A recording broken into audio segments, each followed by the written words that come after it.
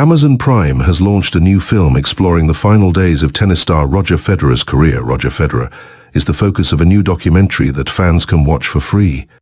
The climax of the tennis star's illustrious career is explored in Federer, 12 Final Days, which is streaming here now. The feature-length doc is billed as an intimate follow-along through the final 12 days of Federer's illustrious career. Originally a home video never intended for public viewing, the film captures Federer at his most vulnerable and candid self as he says goodbye to a game and the fans that shaped his life for the last two decades. Across 90 minutes, viewers will hear from Federer's legendary rivals and close friends including Rafael Nadal, Novak Djokovic and Andy Murray. With the doc giving unprecedented access to the relationship between these unparalleled sports stars, 12 Final Days comes from Oscar winner Asif Kapadia, director of Amy Winehouse Doc Amy and director Joe Sabia. Speaking ahead of the film's launch, Federer said, Initially the idea was to capture the final moments of my professional tennis career so that I could have it later on to show my family and friends. During my career I tended to shy away from having cameras around me and my family, especially during important moments.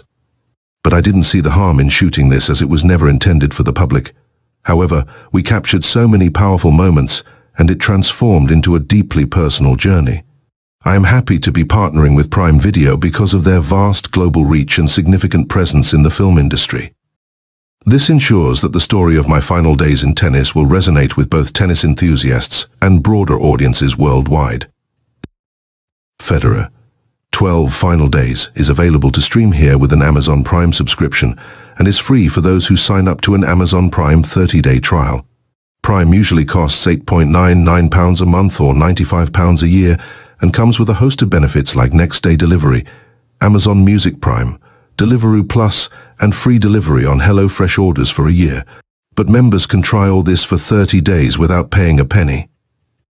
Amazon also offers Prime Video without the added Prime benefits for £5.99 a month, which includes top titles like The Boys and Clarkson's Farm, plus sports docs All or Nothing and Man United Doc 99. Alternatively, Disney Plus offers a range of new shows, including the Bear and Star Wars thriller, The Acolyte. TV fans can get the equivalent of two months free with an annual subscription to Disney's premium or standard plans while those that prefer to pay monthly can do so from £4.99 a month.